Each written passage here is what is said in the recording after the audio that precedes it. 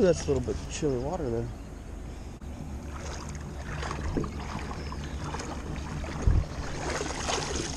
Oh, I could probably even pull up some, honestly.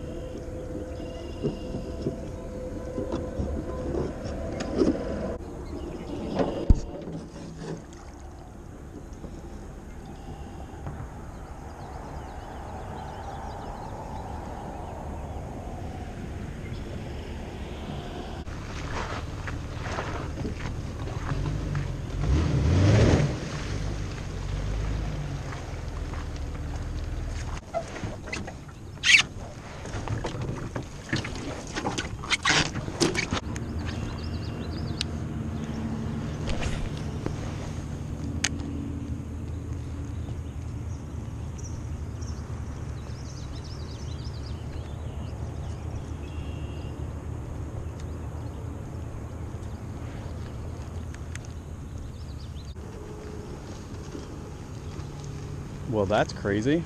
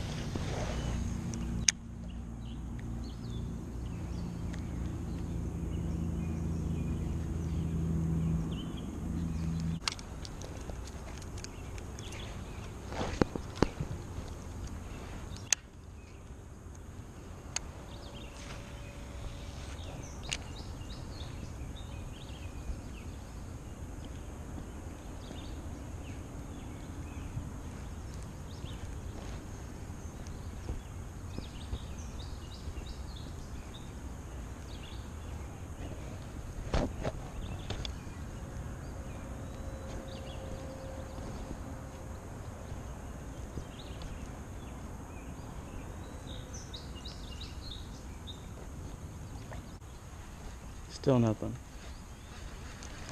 Let's put this frog against this tree.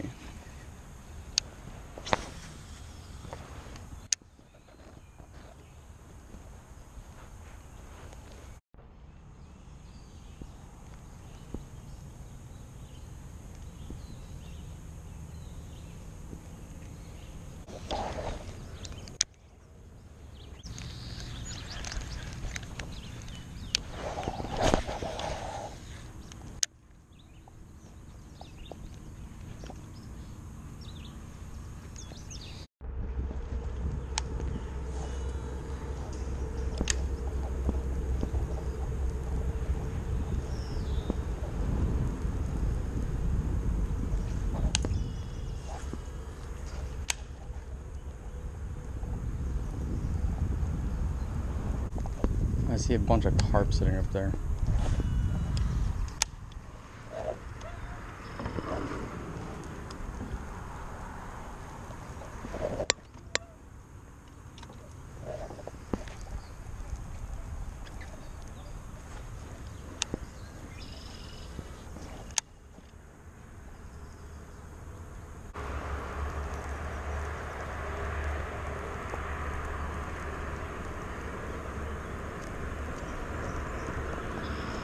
My guess is they wouldn't be this deep.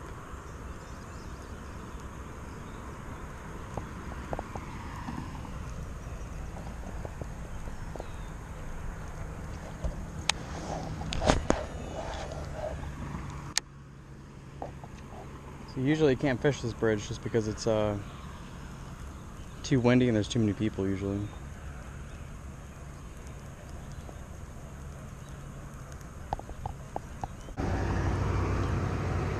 All right, let's uh, keep going.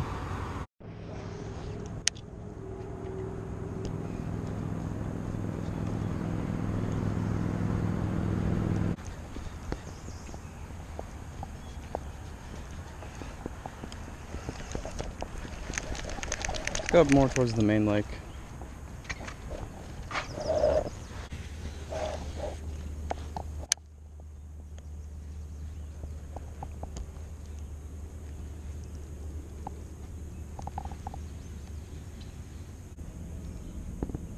super clear water.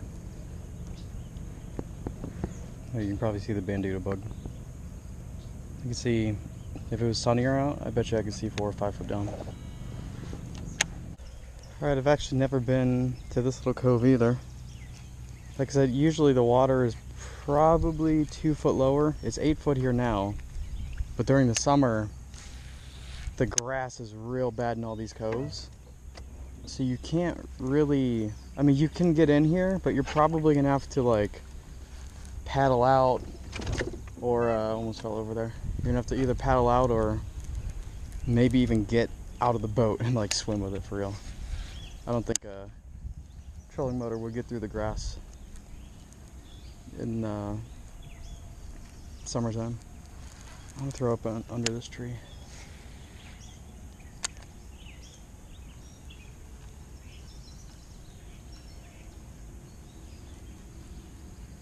See, these bass should be bedding here somewhere, but I don't really know where.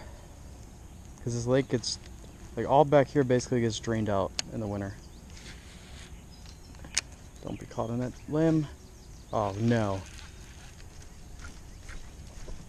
Dude, really? There we go.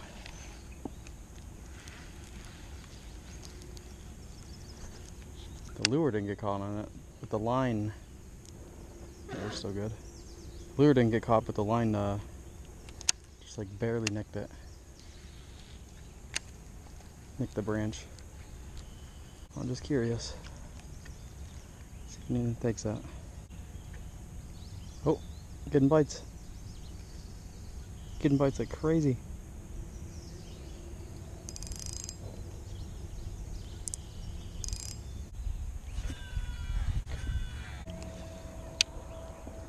That water's only about, I don't know, a foot and a half. Starting from that, ba- basically if you just draw a line from that bush over, it's like a foot and a half back there at most. I could probably go back there,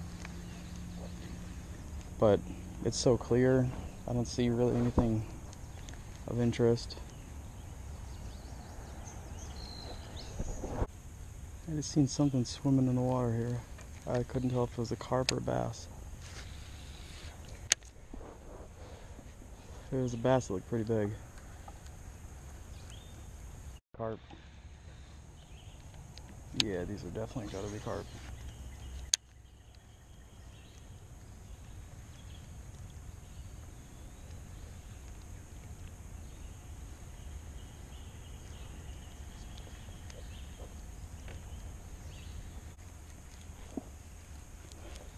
Still hitting all these banks and little coves. It's only three and a half foot right here, and I mean, it's like a foot back in there, so.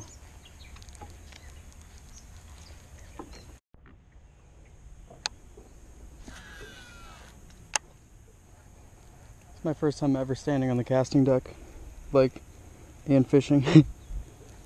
Usually I have to stay in the back with the trolling motor, but it's calm right now. Back here in another little cove. This is more of like a finger actually. Goes back pretty far for this lake anyway. And uh, I've seen a bunch of panfish. I don't know what they are.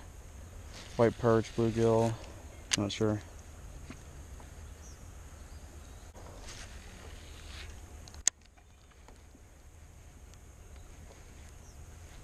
Uh, I don't even know what time it is. Let me look. It's only 10:30. I say only, but I've also been on here since like 5:30. Just pitching a little bit. Straighten this guy out. What did I do? There we go. I don't really see anything up there, but you never know. Could be hiding under that little bit of grass.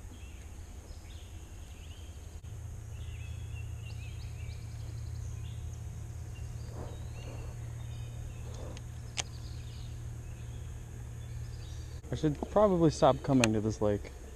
It is not good for fishing.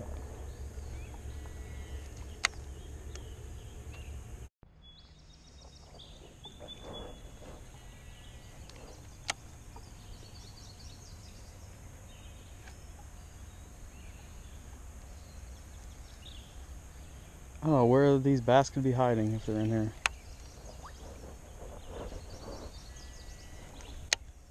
I just had a bite.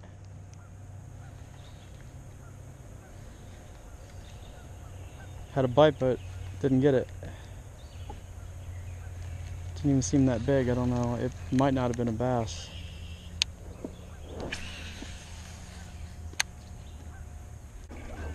All right, so I'm heading in. I didn't get anything. I had that one little nibble, or whatever it was in that frog, but that was it. No one else caught anything that I seen. And uh, GoPro's about to die. Trolling motor is gonna die. And I have not seen any sort of bass activity on this lake at all. Just all carp. Carp everywhere. But uh Yep. So I just got home. Uh, the high was like 90 today. It was a it was a scorcher out there for being still May. Um, didn't catch any fish, unfortunately, but neither did anybody else that I talked to. I didn't even see, as I kept saying in the video, I didn't see any bass beds. Basically nothing, just carp. And uh, yeah, hopefully we get them next time. If you liked the video, hit that like button, hit that subscribe button, tell your friends, get somebody new into fishing, and I will see you later.